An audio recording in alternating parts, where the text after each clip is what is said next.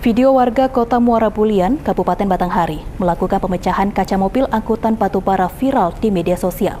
Warga dibuat keram karena angkutan batubara yang melintas dengan mengambil jalur kanan di jalur 2 kota Muara Bulian. Inilah aksi pemecahan kaca mobil angkutan batubara yang melintas di kota Muara Bulian. Warga kesal dengan angkutan batubara yang mengambil jalur kanan sehingga dengan menggunakan kayu, warga memecahkan truk angkutan batu bara yang melintas di arah yang berlawanan. Akibat jeleknya lalu lintas jalur bulian tembesi, bahkan aktivitas di malam hari tidak jarang sopir nakal melanggar arus jalur lalu lintas. Trianto, sopir angkutan batu bara, menyayangkan kejadian pemukulan kaca mobil tersebut. Sebagai satu profesi, menurut Trianto ada solusi dalam penyelesaian masalah tersebut dan tidak main pukul hingga merusak armada angkutan batu bara. Selain itu, dirinya mengakui rusaknya jalan akibat banyaknya angkutan batu bara. Namun ini merupakan hasil pencarian mereka untuk memenuhi kebutuhan nafkah keluarga.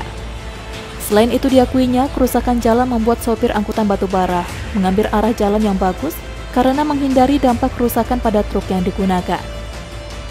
Sebenarnya harus main pukul sih bang, uh -uh. kan ada solusi terbaik. Iya.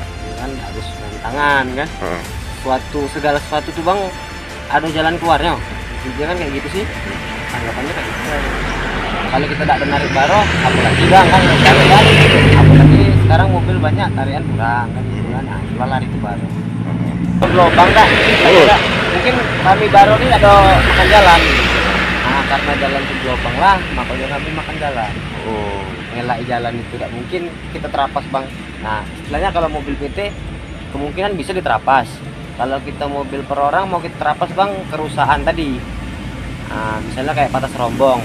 Udah berapa kerugian mobil kan, Bang?